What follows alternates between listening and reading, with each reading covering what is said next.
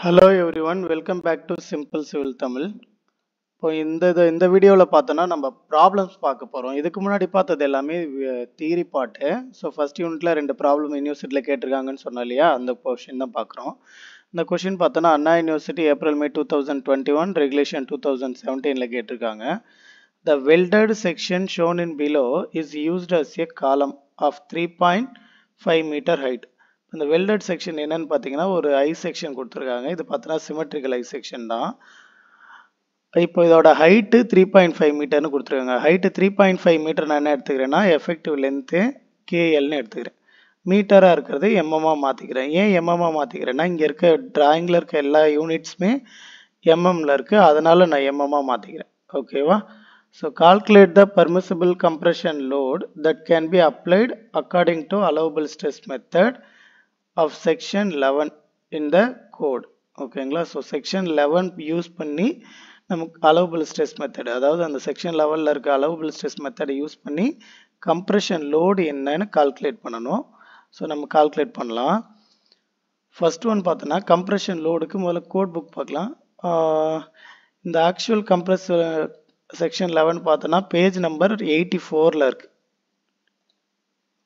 Page number eighty ஃபோரில் இருக்க IS eight ஹண்ட்ரடில் பேஜ் நம்பர் எயிட்டி ஃபோரில் பாருங்கள் கம்ப்ரெஷன் மெம்பர் இருக்கா? Clause number thirteen point sorry eleven point three அதில் கம்ப்ரெஷன் ஸ்ட்ரெஸ் பாருங்கள் actual compressive stress FC equal to PS divided by AE பிஎஸ்ன்றது load service load ஏன்றது effective area ஓகேங்களா இதில் permissible stress FAC அப்படின்றது பார்த்தீங்கன்னா zero point six times of FCD so zero point six times of FCD FCD கண்டுபிடிக்கணும் நம்ம FCD கண்டுபிடிக்கிறதுக்கு seven point one point two point ஒன்று refer பண்ணணும் அப்படின்னு சொல்லியிருக்காங்க. ரைட்டுங்களா ஸோ இப்போக்கி நான் ஜஸ்ட்டு ஃபார்முலாஸ் மட்டும் எடுத்து எழுதிக்கிறேன்.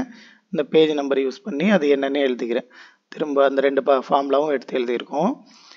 ஃபர்ஸ்ட் ஒன் பார்த்தோன்னா பக்லிங் கிளாஸ் கண்டுபிடிக்கணும்.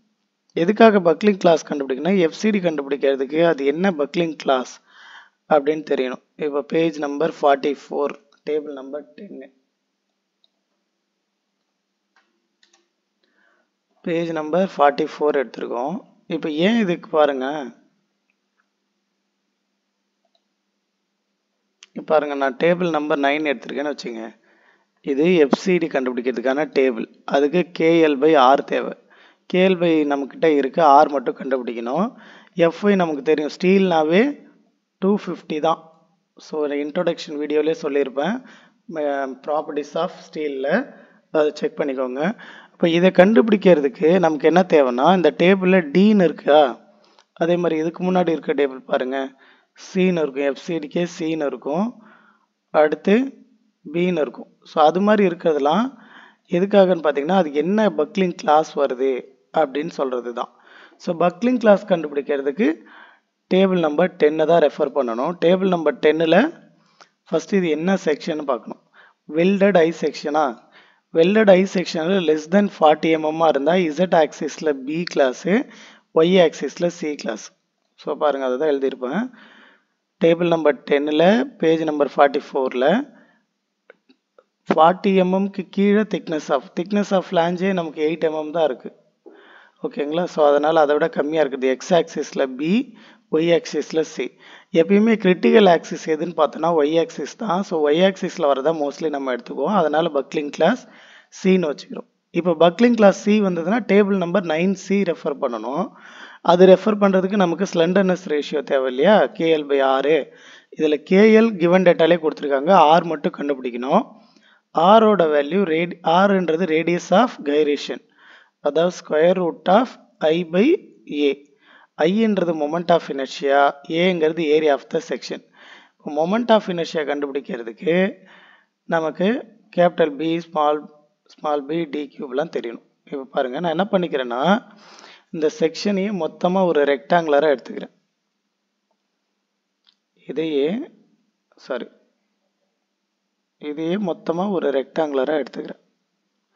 ஓகேங்களா இப்போ இது மொத்தமாக ஒரு ரெக்டாங்குலராக எடுத்துக்கிட்டோன்னா ரெக்டாங்குலருக்கு நமக்கு தெரியும். I equal to BD cube by twelve இதை என்ன பண்ணிக்கிறேன்? கேபிட்டல் பி கேபிட்டல் டி வச்சுக்கிறேன். அப்போ இதுக்கு பிடி கியூபு பை டுவெல் வரும். அகெயின் பாருங்கள் இங்கே ஒரு குட்டி ரெக்டாங்கில் இருக்கா? அதாவது இந்த வெப்பை மட்டும் எட்டை எடுத்துட்டிங்கன்னா உள்ளே ஒரு ரெக்டாங்கிள் இருக்கும். அதாவது இந்த பக்கம் பாதி சேம் இந்த பக்கம் பாதி. குட்டி ரெக்டாங்கிள்ஸ் இருக்கா? இப்போ இது பாருங்க டோட்டல் நைன்டி எம்எம்ல சிக்ஸ் எம்எம் எடுத்துட்டா நமக்கு எயிட்டி ஃபோர் எம்எம் இருக்குமா?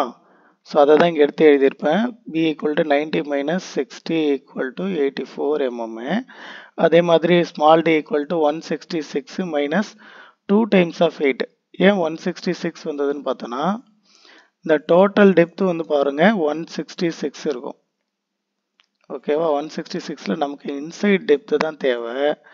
அப்போ என்ன பண்ணிக்கலாம்? இந்த திக்னஸ் வந்து எயிட் எம்எம் mm, இந்த திக்னஸ் வந்து எயிட் எம் எயிட் எயிட் ஒரு சிக்ஸ்டீன் போக மீதி இருக்கிறது ஒன் ஃபிஃப்டி அதை எடுத்து எழுதிக்கிறேன். அது ஸ்மால் பிடி அப்போ அதுக்கும் small b d cube by twelve தான் ஃபார்முலா ஸோ ஃபார்முலா படி நம்ம சப்ஸ்டியூட் பண்ணிக்கலாம்.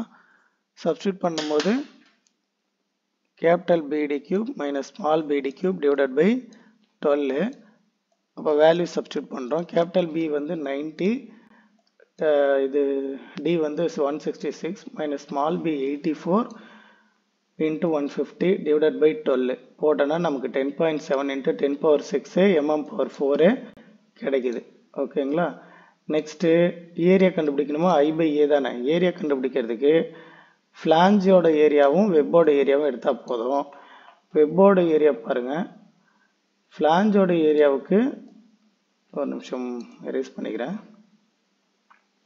ஓகே இப்போ ஃப்ளாஞ்சோட ஏரியா நைன்ட்டி இன்ட்டு எயிட்டு அது மாதிரி ரெண்டு ஃப்ளாஞ்ச் இருக்கா? So two times of ninety into eight plus இந்த ஒன் ஃபிஃப்டி இன்ட்டு இந்த சிக்ஸ் போட்டோன்னா நமக்கு வெப்போட ஏரியாவும் கிடச்சிரும். அதை ரெண்டுத்தையும் ஆட் பண்ணால் டோட்டல் ஏரியா கிடச்சிரும். அந்த ஏரியாவை தான் கால்குலேட் பண்ணியிருப்போம் இந்த ஸ்டெப்பில் so twenty ninety into eight one fifty into six add பண்ணோன்னா டூ த்ரீ ஃபோர் ஜீரோ கிடைக்குது. இதை யூஸ் பண்ணி ஸ்லெண்டர்னஸ் ரேஷியோ கண்டுபிடிக்கிறோம். So R equal to square root of IA ஐயோட வேல்யூ ஏவோட வேல்யூ கேஎலோட வேல்யூ ஸ்டார்டிங்கில் எடுத்துட்டோம். சப்ஸ்டியூட் பண்ணனா fifty one point seven six கிடைக்குது. ஓகேங்களா நமக்கு தெரியும் எஃப்ஐயோட வேல்யூ டூ ஃபிஃப்டி இப்போ டேபிள் நம்பர் நைன் சி தான் எடுக்கணும். பேஜ் நம்பர் ஃபார்ட்டி டூவில்